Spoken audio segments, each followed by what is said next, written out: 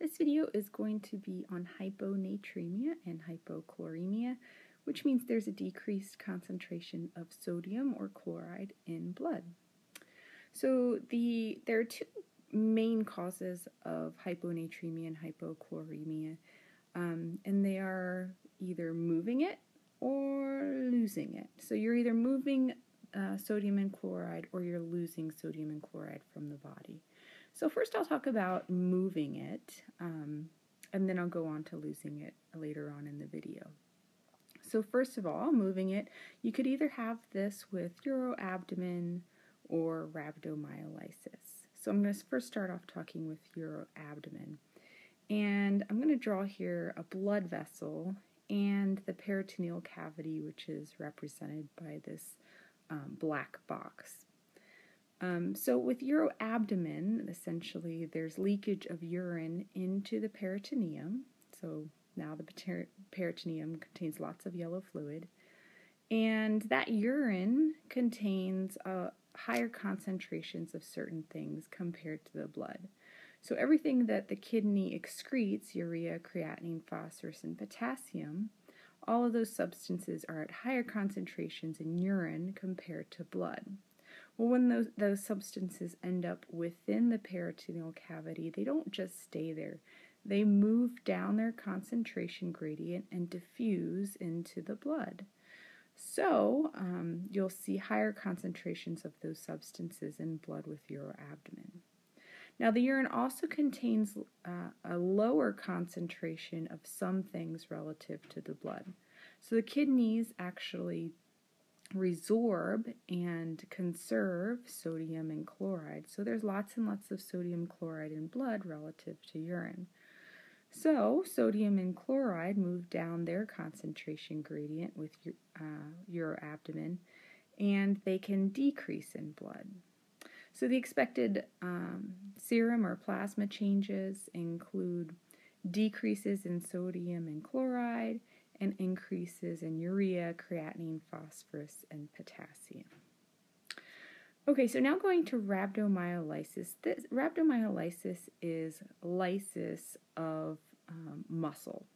So, and not just, you know, one myocyte, but lots and lots of myocytes. So this is severe muscle injury and muscle cell death.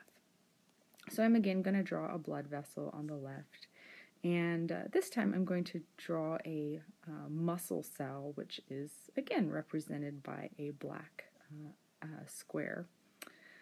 Um, so the muscle contains lots of things uh, relative to blood. So it contains uh, two enzymes called creatinine kinase or CK and aspartate aminotransferase or AST. And it also contains lots of myoglobin.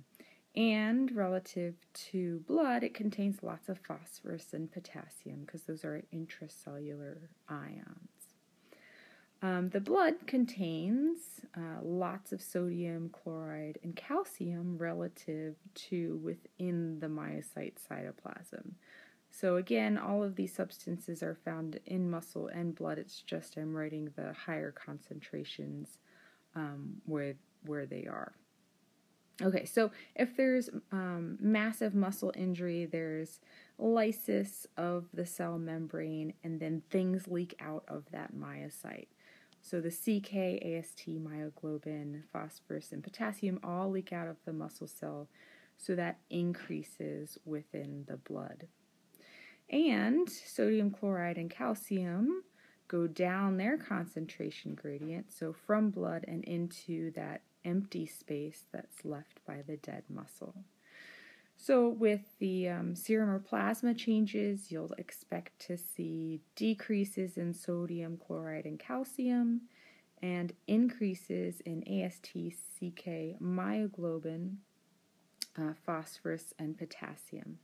However, the myoglobin is really um, is readily excreted by the kidney. It has a very low renal threshold. So, really, you'll see uh, red urine before you see red plasma. So, this is called myoglobinuria. So, now I'm going to go over to the lose it side.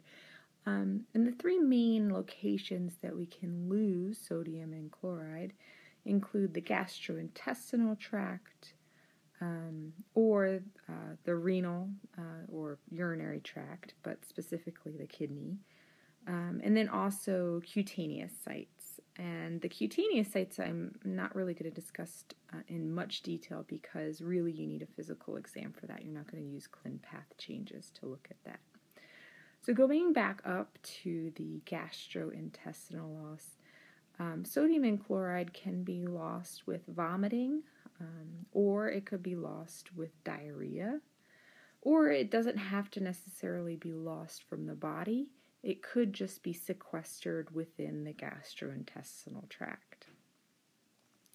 And then finally, this is kind of a, a, less common cause of GI loss, but excessive salivation and then not um, swallowing or ingesting that saliva. So, an example of that would be choke in a cow or a horse where there's excessive salivation, but they can't um, then ingest that saliva to uh, retain that sodium and chloride.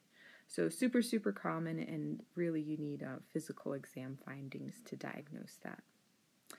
As far as renal loss, we are talking about um, any cause of diuresis where there's an increased tubular flow rate, and with that increased tubular flow rate, there's then less time to resorb sodium uh, and chloride.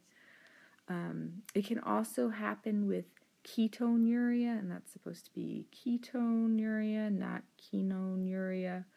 Um, and that's because ketones are negatively charged substances, and those negatively charged substances attract positively charged substances.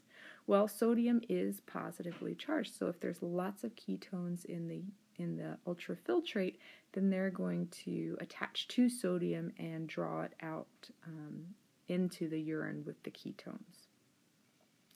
Um, and then another cause um, is tubular disease. So uh, the renal tubular cells are responsible for resorbing sodium and chloride, and they're really good at doing that. But if there's tubular disease, meaning that there's renal failure, then those um, uh, renal tubular cells don't resorb the sodium and chloride that it's supposed to, and it ends up um, getting washed away in the urine. And then finally, um, aldosterone. Aldosterone normally acts to resorb sodium chloride and water. So if there's less aldosterone, then there's less resorption of sodium chloride and water. And we see this occurring with animals that have hypoadrenocorticism, which is also known as Addison's disease. And then, as far as cutaneous loss, um, excessive sweating, uh, excessive, excessive, not your day to day sweating, and then burns. So that's pretty much it. Uh, hyponatremia and hypochloremia. Um, it can move into the abdominal cavity with uroabdomen. It can move into a dead space with rhabdomyolysis, and it can be lost by the into the gastrointestinal tract um, via the kidneys or by a cutaneous route.